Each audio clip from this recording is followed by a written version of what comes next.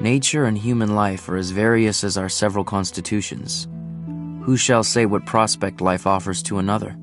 Could a greater miracle take place than for us to look through each other's eyes for an instant?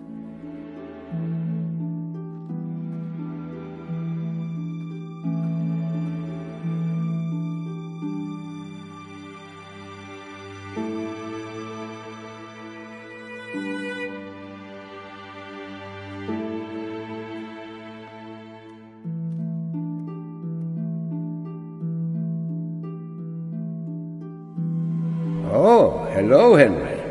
Did you hear the news about the fugitive slaves that were caught stealing food just last night out by your pond? Quite the excitement. To think, they made it so far only to be caught for lack of supplies.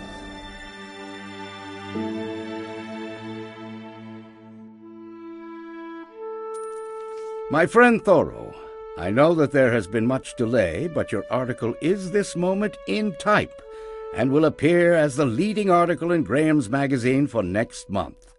I will see that Graham pays you fairly for it. Do not think hard of him. I am enclosing two dollars until such time as he does.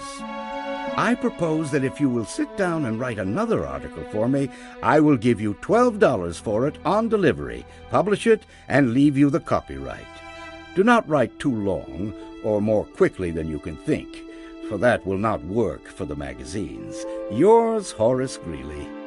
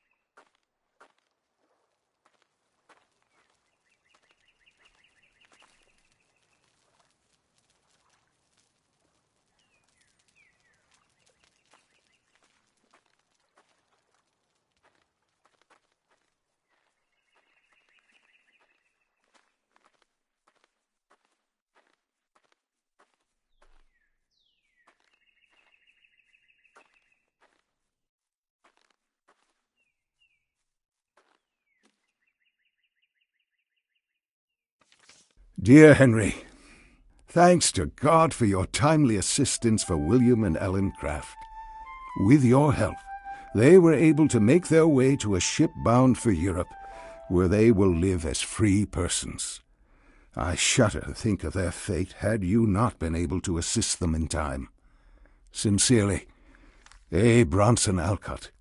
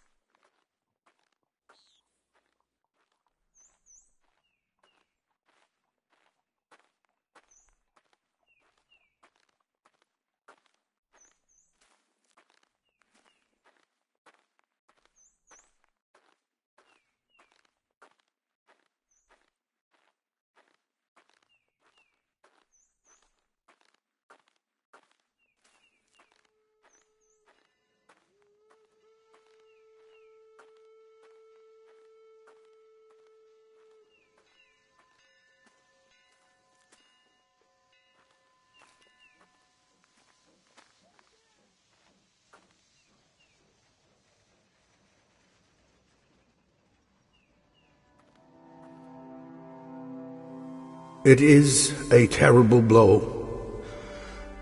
First, your brother John is cut down so suddenly. And now my own dear little boy. Unbearable, truly. I may find solace in a long trip, far away from the woods and trails that remind me of him so. You are a true friend to watch over my home while I travel. You are more like a brother than my own is to me.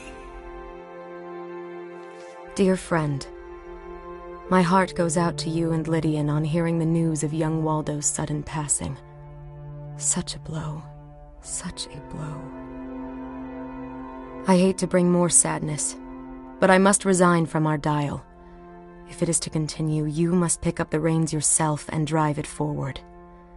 If only I had been paid some support for my work, I would have remained. My financial options are limited, and so must seek employment as a teacher to support the work I do as a writer. This makes my work on the dial impossible now. Regretfully, Margaret.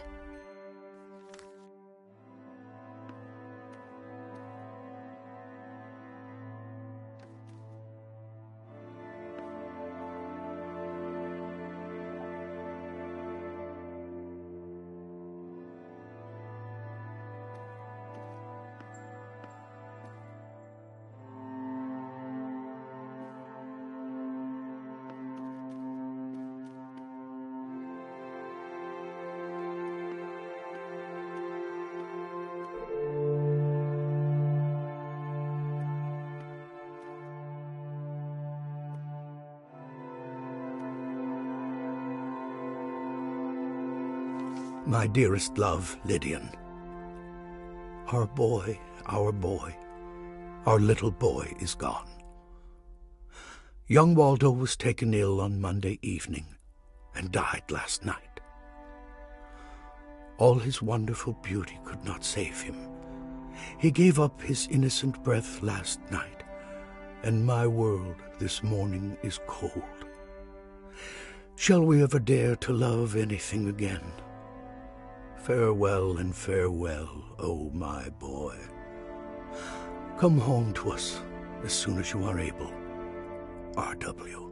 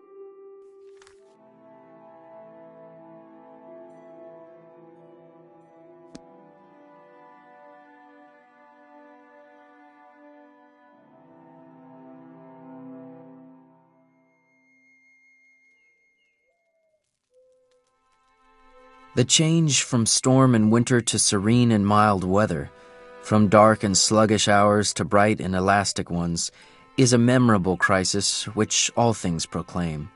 It is seemingly instantaneous at last.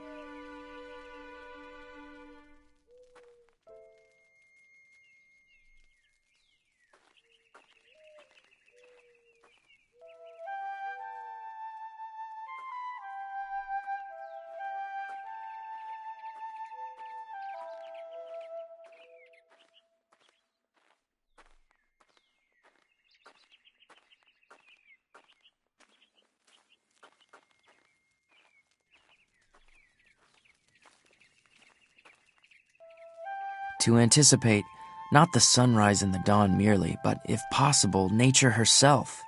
How many mornings, summer and winter, before yet any neighbor was stirring about his business, have I been about mine?